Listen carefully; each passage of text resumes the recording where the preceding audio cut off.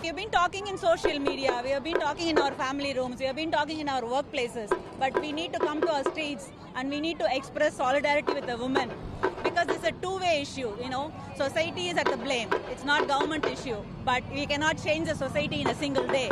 But we can strengthen the system. We can strengthen the laws to steer the society in the right way. That is where we are looking for the government to pitch in.